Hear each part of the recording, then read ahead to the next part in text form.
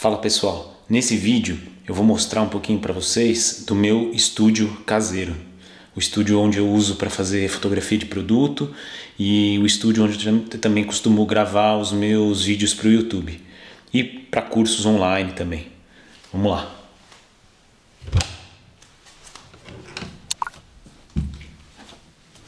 Fechar aqui. Bom, esse aqui é tipo um quarto que eu fiz no estúdio.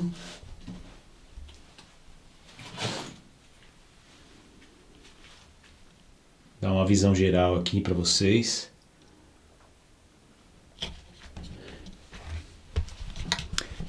Então, ah, logo que entra aqui, ó, nesse chão aqui, é, ele tem uma, tá vendo? É um, é tipo uma manta de vinil aqui, ó, borracha.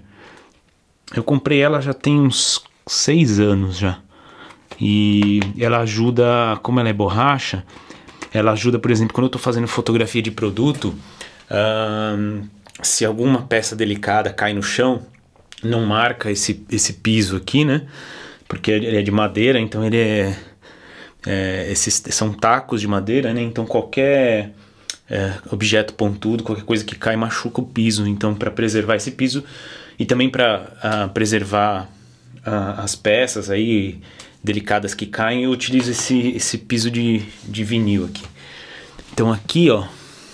Bom, aqui, essa parte de trás aqui, é, eu costumo deixar o meu tripé, porque eu me filmo pra lá, né? Então eu costumo deixar meu tripé aqui, minha câmera aqui. Aí, seguindo aqui, Tá vendo que tem umas placas aqui de, um, de, é, de espuma? Isso aqui é para dar uma amortecida no ruído. Porque essa, como ela não tem nada, que o estúdio não tem nada, acaba fazendo um eco. E eu descobri que utilizando isso daqui, é, ele fica solto aqui, ó. Eu, eu, eu utilizo alguns tripés aqui, ó. Opa, aqui, ó. Eu uso esses dois tripés aqui Tá vendo? Para segurar esses dois e o restante eu consegui colocar na parede, ó. Então eles estão colados na parede. Aqui esses outros aqui. Vem pra cá. E também tem no teto, ó. Porque eu fui fazendo testes aqui, eu fui vendo aonde que estava o som, fui medindo, até chegar num, numa, numa condição aí de som melhor para que vocês me ouçam aí com uma qualidade de som melhor, né? Aí aqui atrás tem um deixa eu afastar um pouco. Ali atrás, ó, tem um um tripé montado com é tipo um, um tecido, um pano. É, esse pano tem 3 metros, ele está dobrado nos, nos lados, tá? Ele tem 3 metros por 6 metros de comprimento. Então ele é 3 por 6. É, eu, você pode usar, é, eu poderia ter usado, por exemplo, um lençol, né? Mas o lençol é, é, é para cobrir cama, não é para fazer isso. Então, eu fui numa loja aqui de um atacadão de, de tecido e, e eu tenho esse tecido branco aqui e eu tenho esse outro tecido aqui, ó, que é ele é escuro. Ele também tem as mesmas medidas, ó. Vou colocar aqui. Que é aquele fundo preto que vocês veem de vez em quando nos meus vídeos, é esse outro tecido aqui. Um, e aí eu tenho esses dois tripés aqui, que estão... Deixa eu ver se dar para vocês verem. Não passa aqui, tem que passar por aqui. Aqui atrás, ó, tem uma janela. E eu uso esse outro pano blackout aqui, ó. Então eu fiz uma um esquema que quando eu não preciso, quando eu não quero usar ele, eu, eu ponho essas, esses velcros aqui. O outro acho que caiu ali, soltou. E aí fica um blackout completo. E aí tem do outro lado também a mesma coisa. Uh, deixa eu dar para ver melhor a janela talvez. Então ele acaba também ajudando a abafar um pouco o ruído. Um, ah, Aí vamos ver em termos de iluminação. Eu acabo utilizando aqui, ó, essa luz aqui, é um, um octobox pequenininho que eu uso para fazer essa luz aqui, ó. É um ring light, né? Uma luz de recorte que eu gosto de usar principalmente quando eu estou usando aquele fundo, fundo mais escuro, né? Aí minha luz principal, eu uso esse octobox maior aqui, ele tem acho que é 1,20.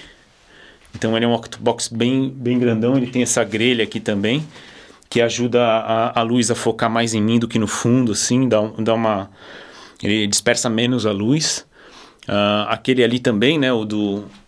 o que eu uso para recorte.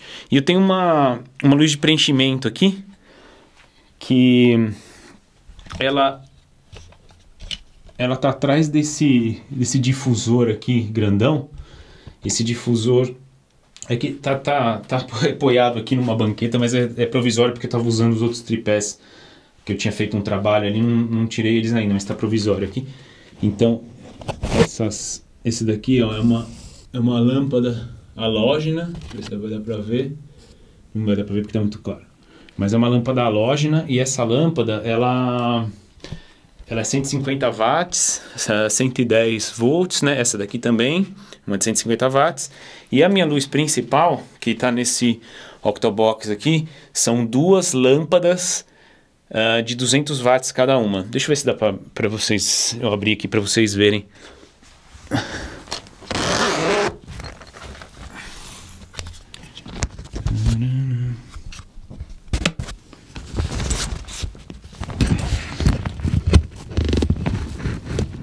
Acho que deu pra ver, né?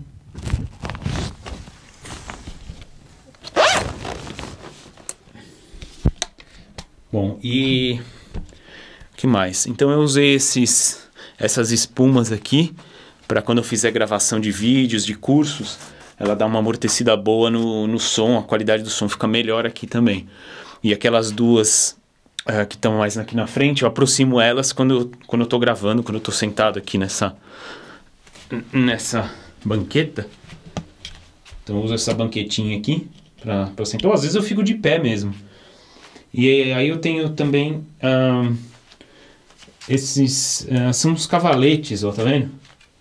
Dois cavaletes e eles têm uma eles são da Opa Design. Eles têm uma regulagem de altura também. Então o que acontece, ó?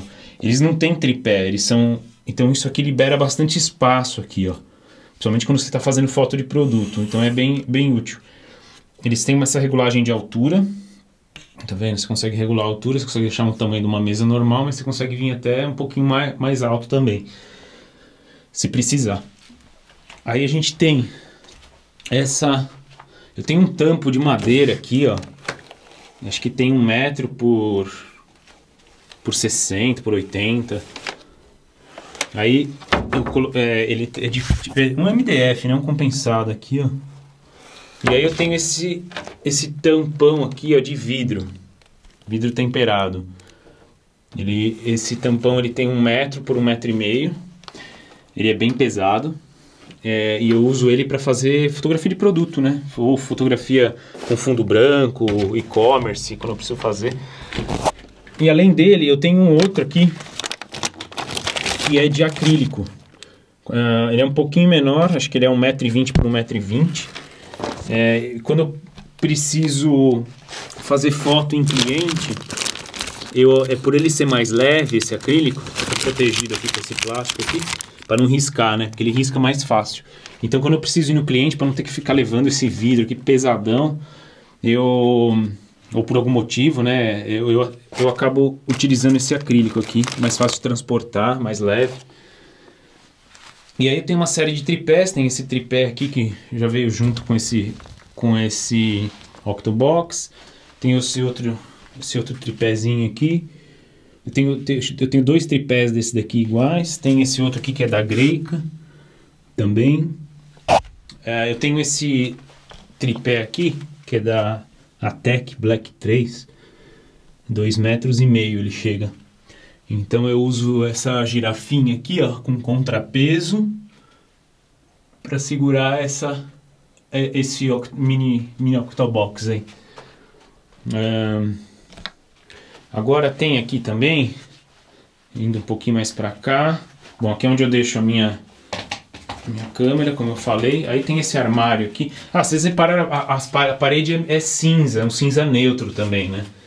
Eu tinha pintado na época, quando eu comecei a fazer fotografia de produto, para não ter, não ter nenhuma influência de, é, de da, da, luz aqui, né? Porque era uma, era uma cor, não era um branco, era um branco meio, meio bege, meio rosado, assim, então ficou esquisito a cor. E aqui, ó, dentro desse armário aqui tem um beauty dish. Quando precisa fazer, uh, depende do, do tipo de produto, eu até uso beauty dish, depende do, se for retrato também. Tem esses mini tri, tripézinhos aqui.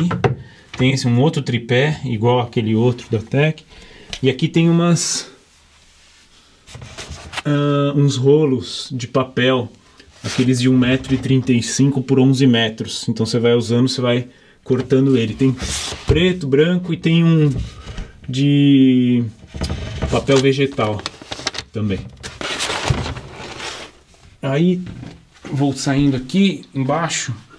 Eu tenho os eu tenho uns flashes, três flashes da Digiflash Acho que nem, nem existe mais a Digiflash, só assistência técnica hoje. Tem uma panela aqui, tenho duas panelas dessa. A outra está colocada naquela luz que vocês viram ali. Uh, e eu uso quando faço fotografia de produto. São três flashes de 400 watts cada um. E nesse armário aqui, deixa eu ver se eu consigo afastar um pouco aqui. Esse armário aqui é onde eu guardo os modificadores de luz. Então, essa caixa aqui, ela tem ah, um monte de trambolho de fios, de flash, é, cabos, bom, enfim, tem uma série de acessórios. Aí aqui tem uma caixa de ferramentas, uh, ali tem uma furadeira, aqui é, é aquele é aquela capa que você consegue usar a parte metálica dela para dar um reflexo maior ou a parte escura aqui, que é a capa daquela daquele difusor ali. Um, aqui tem uma série de acessórios modificadores de luz, esses daqui são uh, isopores, então tem esse isopor mais fino, esse mais grosso, maior, isopor menor, tem uns, uns materiais aqui que eu tipo um plástico que eu uso também como, uh, como difusores, como rebatedores. Esse daqui também como difusor, rebatedor. O que mais que tem aqui? Essa gaveta aqui eu acabo usando ó, também para usar como para fazer fotografia de produto, cartolina preta. É, tem esses outros aqui também. Uh, isso aqui são aqueles. igual aquele difusor ali, só que são, são, são menores é, acho que de um metro só. Aí tem, ah, tem uma série de coisas aqui que eu uso, por exemplo, tem espelhinho aqui, ó, quando precisa refletir algum detalhe. Aí tem rebatedores de vários tamanhos cortados, papel vegetal. É tudo acessório que às vezes precisa, né? E que eu uso quando faço foto de produto. Aí aqui embaixo, essa segunda gaveta tem vários acessórios aí, tipo grampos para prender alguma coisa lá na mesa, fitas adesivas transparentes para precisar pendurar alguma coisa. Tem essas colmeias aqui também, ó. Uh, usa bastante fotografia de produto também para mudar a direção da luz. Tem vários graus, ó. tem essa aqui de 20 graus e aquela é de 10 graus. O que mais? Tem esse aqui é para o tripé, para colocar ele naqueles rolos de papel. Isso aqui também é bem útil, ó, umas linhas de pesca para poder pendurar. Uh, ah, pendurar produtos aí e ele passa, ela passa meio quase transparente, então quase não dá para ver ela. Menos trabalho no Photoshop também. Bom, aí tem uma série de garras aqui também para prender alguma coisa. Aí aqui tem alguns também modificadores de luz, alguns gels de várias cores. Tem esse verde aqui, tem uns um azul, um vermelho, acho que tem as cores principais aí. Tem uns laranjas também, tem algumas alguns outros acessórios, tem uma sombrinha. Uh, De vez em nunca eu uso essa sombrinha. Aí aqui embaixo eu tenho dois, dois, dois strip boxes e eu tenho um soft box. Aqui eles estão desmontados, então eu não vou abrir eles, mas é mais para vocês terem uma, uma ideia do que, que tem aqui. Pronto. Bom, eu espero que vocês tenham gostado desse pequeno tour aí no estúdio. Uh, se vocês gostaram desse vídeo, dá aquele tapa no curtir, se inscreva no canal se você ainda não fez e clica no sininho para ativar as notificações. Assim, toda hora que sair um vídeo novo, você vai ser o primeiro a ser notificado. Vejo vocês no próximo vídeo. Até mais!